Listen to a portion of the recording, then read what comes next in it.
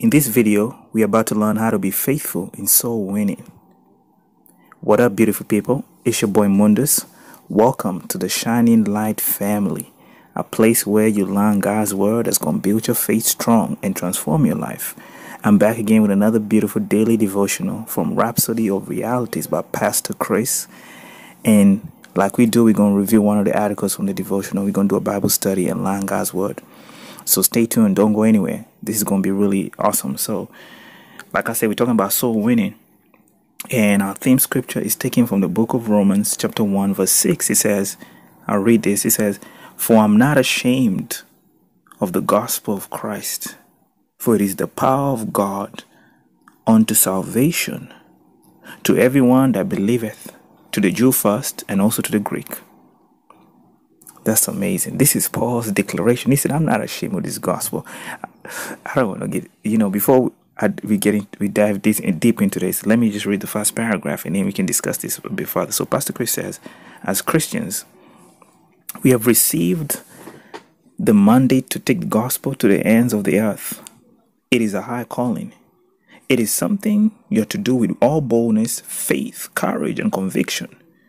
You must never be ashamed or apologetic about Christ and the message of the gospel. Don't be ashamed of who you are in Him. Don't let others make you ashamed of what you believe. Paul said, I'm not ashamed of the gospel of Christ, for it is the power of God unto the salvation to ev- unto, unto salvation to everyone that believeth. That's Romans chapter 1, verse 16. And this is important we need to be proud to know Jesus, man. This is the most beautiful thing that could ever happen to us. You know, a lot of people, um, are not, there's some things they're not ashamed of, like if you live, um, especially depending on what nation you live in, people have different groups they represent, different organizations they represent, and they're proud of these organizations and groups. For example, they'll have like different parades you know what I mean? I don't want to mention, but you, you understand what I'm saying? With different parades, and they would boldly march down the streets, proud and excited for who they are, unapologetic too. Unapologetic, with no apologies, with no shame over who they are. How much more we that believe the true gospel? There's only one gospel. He said, How can we be ashamed of this gospel? Um, so this is important. I mean, Christ, what Christ has done for us is nothing to be ashamed of. It's something to be proud of because He has made us sons of God and He has given us this great commission, this great mandate to go preach this gospel to the lost. We are saviors. And, uh, and He said, um, He says, how, how can a city that's set on a hill be hid? We are that city on that hill. Our light shine. How can you light up a light and hide it under the bed? We are not, the, oh, let me show you the scripture so you can understand. We are not supposed to be apologetic. We're supposed to be bold for Christ. So let's see the scripture. Uh, hmm, I think it's Matthew, Matthew chapter 5. And that's because this is the year of lights, right? So we had to shine 535, I believe. No, 31. Uh, you know, sometimes, oh man, let me find it. Let me find this. So it's Matthew chapter 5 and verse, let's start from, let's start from verse 13. This is Jesus speaking. He says, Ye are the salt of the earth. But if the salt has lost its savor, wherewith shall it be salted? It is therefore, therefore, therefore good for nothing but to be cast out and to be trodden under the foot of men. Ye are the light of the world. A city that is set on a hill cannot be hid. Neither do men light a candle and put it under a bushel, but on a candlestick. And he giveth light unto all that are in the house. Let your light so shine before men, before men, that they may see your good works and glorify your Father which is in heaven. We are the light of the world. The world is in darkness. And if we hide our light, they'll walk in darkness. You know, so it is is something of urgency that we we preach. So this is of importance. We have a mandate. Um, let's keep on reading this. Pastor said, "It is the, it is only the gospel that can catapult the sinner into salvation and righteousness. It is only through the preaching of the gospel that the righteousness of God can be unveiled and embraced. So there is no options to the gospel. It is its power and efficacy is uncontrover- uncontrovertible. Uh, if I said that right, that's only. It is only it is only message when received makes sinners sons of God in a moment of time. So we have this power. He says this is a power to change human lives. How can we be ashamed? That's the title. The title is talking about well, being faithful and soul winning.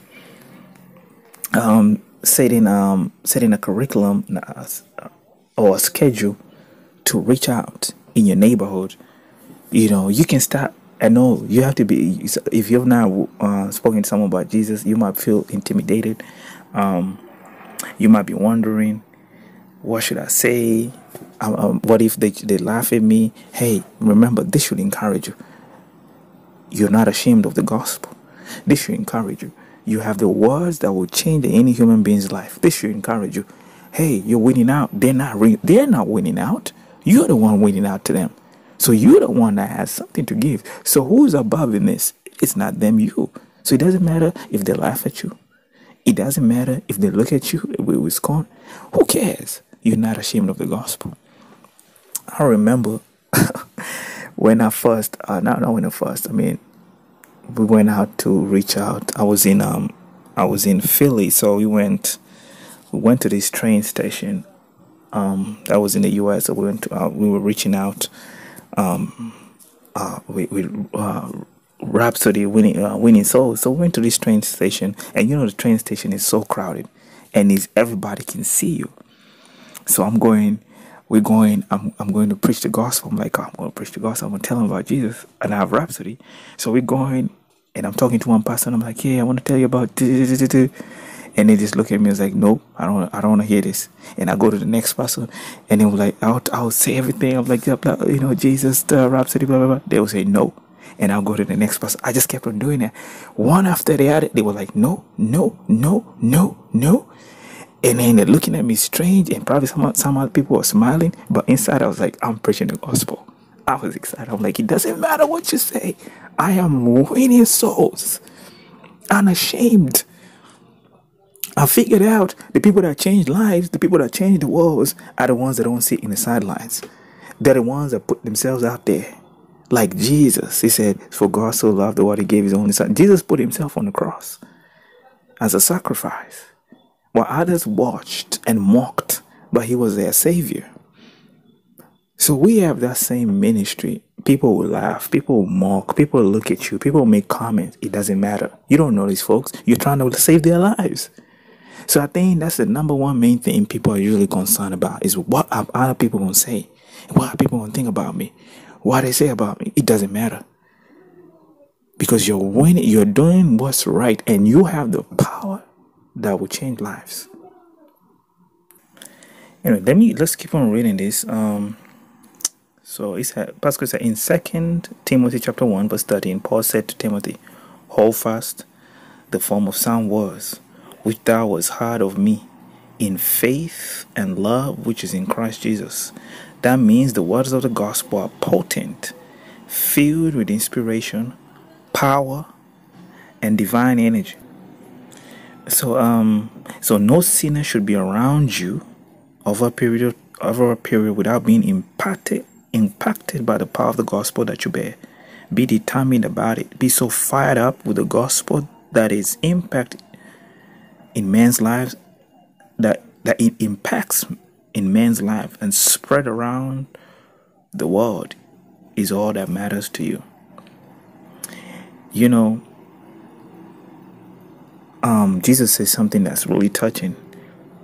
He said, If you're ashamed of me, I'll be ashamed of you when I come back with my holy angels. Oh, God. When I read that, I'm like thinking, man, I don't want you to be ashamed. If you think, man, because this is the thing, it could be, um, especially you might have those feelings because you've been thinking, oh, man, we all self conscious. So you're going out, it's like, oh, what people say? What if they say no? It doesn't matter. Because you're thinking, that means their opinion matters to you more because you're thinking, what if they laugh at me? What if they mock me? But whose opinion matters? Christ. Do you want Je- God forbid, we don't want Jesus to be ashamed of us. Oh dear Lord, no. I want to show you this. Let me show you this. This should be. Mo- uh, I want to uh, motivate you. I want to get motivated myself too. So when we go out and and this, when we're speaking in other tongues, and we have these thoughts, thinking, "Oh, are people saying?" we do it anyway. And the thing about it, the beautiful thing about it, it doesn't matter what your mind feels. It doesn't matter how you feel like. If you're still doing it, you're doing it. That's the trick. Your mind, you don't have to feel like doing it, but as long as you're doing it, that's all that counts. So don't don't let your mind play tricks on you to feel like, oh, let me feel good first. No, it doesn't matter how you feel like. You go preach the gospel. So let me read. I'm reading the book of Mark, chapter eight. Let's start from verse 34. He says, And when he had called the people unto him um, with his disciples also, he said unto them, Whosoever will come after me, let him deny himself and take up his cross and follow me. For whosoever will save his life shall lose it. But whosoever shall lose his life for my sake and the gospel's, the same shall save it. Do you see that? It says, For what shall it profit a man if he shall gain the whole world and lose his soul? Or what shall a man give in exchange for his soul? Whosoever therefore shall be ashamed of me and of my words in this adulterous and sinful generation, of him also shall the Son of Man be ashamed when he cometh in the glory of his Father with his holy angels. Oh, dear Lord. So this should motivate you there's some things people are so not ashamed of. And we, in the, we live in a world people are free to express themselves in, in causes which are just meaningless. But they are bold about these causes that don't make sense. And they'll go run around the streets. They'll, they'll carry placards. They'll do everything to demonstrate how they believe in this cause unapologetically. How much more is that we have the gospel of light? Are we going to be like, oh yeah, I'm not a Christian? No. He says, I'm not ashamed of the gospel. He said, Whoever will be ashamed of me and my words, he said, I'll be ashamed of them when I come with my holy angels, with the glory of God and the glory of the Father my holy angels. Dear Lord, that's not going we, think this is not have going to happen to us because the Spirit of God is telling us this. So he's instructing us. So we cannot be ashamed. The gospel is not something that is personal. It is something that was meant to be distributed to the whole world. God is building us up so that we can build others. That was that's the whole plan. We have been built up strong to go reach out. We listen to these words so that we can go because Jesus died on that cross. He was shamed on our behalf so that we can never be ashamed again. So why should we be ashamed no more?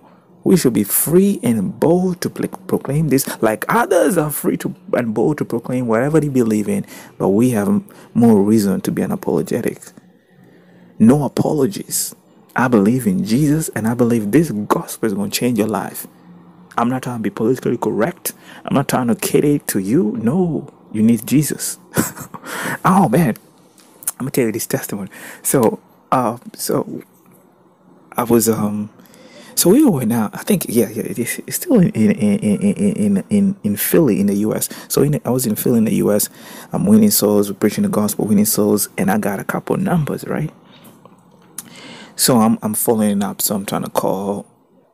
You know, it's like call the numbers that you got from going out to reach out. So I called this number, and then this girl because you know when we were going out, I think we, we, it was like a it was like a campaign. We were winning, winning so many souls. We, we, we had a group of us, so we reached out to a lot of folks, and I had a lot of numbers. So we are just going through numbers, and so I talked to this girl because you know you can't remember everyone that you talk to, but you get their numbers. You don't even know. So I'm so I'm, I'm talking to her on the phone, and I found out she was not born again, but she gave us a number or whatever. I'm talking to her on the phone and she was on the bus. So I'm telling her about Jesus and it's like, oh yeah, you need to be born again and stuff like that. So it's, so we were just having a conversation and she would say, I'm on the bus right now. I'm going to work. Um, can we talk about this later? and I was like, I was so bold by the spirit. I was like, what do you mean you're going to work? I'm saying, I was like, you know, you could die right now and you could go to hell It's like, are you ashamed to receive Jesus on that bus? He said, she was like, no, God, I, no, because when I was talking to her, she was like, everyone is here. I can't. No, I was trying to get her to get born again, right? And she was saying, I can't, I can't pray right now. I'm on the bus. I was like, no. I'm like, are you ashamed of Jesus? Are you ashamed? So you, when you die, you go to hell because you are ashamed. You didn't want anyone to look at you in the bus. And I'm like, you need to be, you need to be born again now. I didn't know where the boldness came from, but it was from the Spirit, right? So she was like, okay. I'm like, you gonna say this prayer right now in the bus in front of everyone? And she was like, yes. So I lead her in that prayer of salvation and she gets born again. And she was so excited. She was happy. So the thing is, unapologetic. We ain't trying to sugarcoat nothing for you. I'm sorry. We believe in Jesus Christ. We believe He died for you. We believe God raised Him from the dead. We believe His words are real. We are not apologizing for it, not a single bit. This is how we got to be unashamed of the gospel, unashamed of His words. Wow, wow, wow. Um, let me finish this, right? The Bible says, Those that turn many to righteousness shall shine as the stars forever. That's Daniel chapter 12, verse 3. Shine for the Master in this year of lights by making enduring impact with the gospel. Go the extra mile like Jesus. Let what matters the most to you be to do the will of the Father and to finish His work. You can read that in John chapter 4, verse 34. Let it be what you live for. He's counting on you for the salvation of many in your world and in the regions beyond. Therefore, be faithful in your responsibility as a soul winner. Be faithful. Get started. Don't think about what you're going to say. You got the Spirit. Even if you went and just say, Hi, Jesus loves you, that's all that matters. So I want us to take this prayer together. Just say this after me Dear Father, I thank you for entrusting me with the divine responsibility of reaching those in my world and in distant lands with the message of eternal life. The light of your glorious gospel that I bear dispels the darkness in the hearts of the unconverted, destroying the bonds of religion and establishing in them in your righteousness. In Jesus' name, amen, amen. You can read further studies in Matthew chapter 28, verse 19 to 20, 2 Corinthians chapter 3, verse 6, 2 Corinthians chapter 5, verse 18 to 19. And you can read a one year Bible plan or two year plan. Pick whichever one that's comfortable that suits you. You know, you don't have to be in a rush, so just pick whichever one that's comfortable for you to follow.